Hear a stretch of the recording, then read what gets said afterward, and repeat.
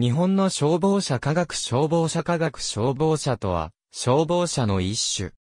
水による消火が不可能、困難な石油コンビナートや航空事故などの重大な危険物火災に対応する。科学者とも言われる。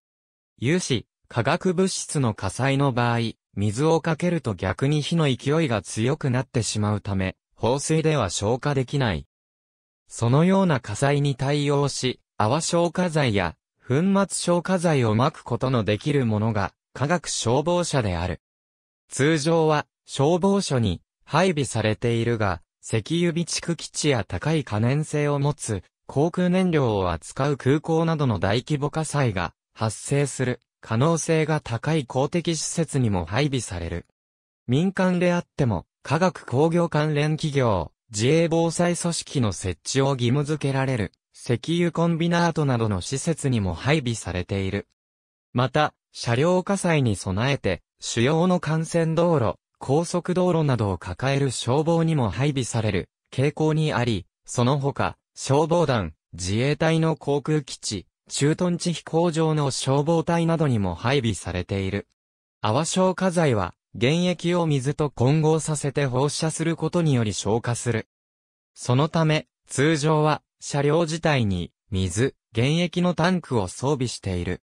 しかし、タンク内の消火剤は数分20分程度で使い切ってしまうため、泡原液搬送車や人員による原液タンク注入などによる補給が不可欠となる。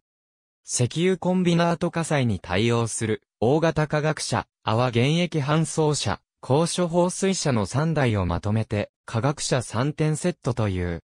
なお、高所放水車の代わりに、同等の性能を持つはしご車で構成する場合がある。ほか、自衛消防組織では、大型化学車と高所放水車の機能を1台にまとめた大型化学高所放水車を導入する場合もある。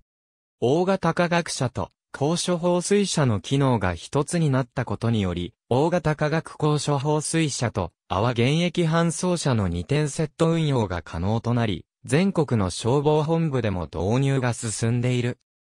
泡原液搬送車から直接、大型化学高所放水車へ送水し放水することが可能となり、今後は化学車3点セットから2点セットとなると考えられ、人員が限られる地方の自治体消防への導入も期待される。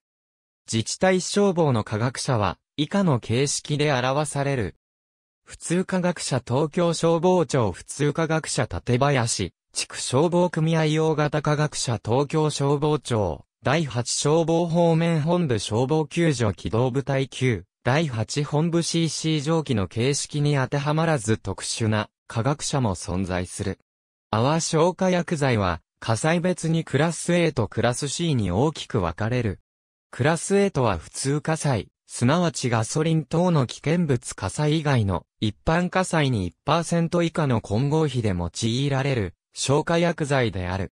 ガフスを持つポンプ車等にポリ容器のまま積載されることが多い。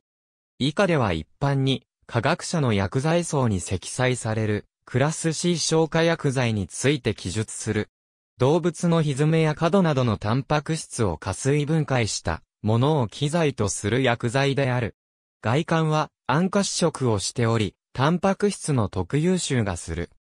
タンパク質の分子編成による強固な泡膜を形成することができるため、石油貯蔵タンク等の大規模油脂火災に用いられる。化学車3点セットにおける大型化学車、泡原液搬送車に積載されるのは主にこの薬剤である。シャンプー等の原料に用いられる炭化水素系合成海面活性剤を主成分とし、安定剤等が添加されている。外観は単黄色がかかった透明をしており、グリコールエーテル臭がする。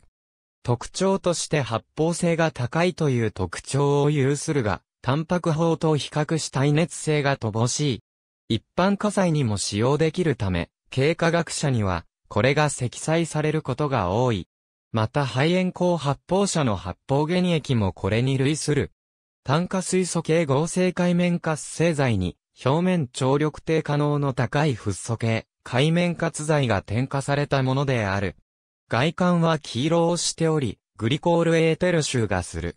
フッ素系海面活性剤が添加されたことにより、合成海面活性剤よりも転調性が高く、耐熱性、耐油性が強化されている。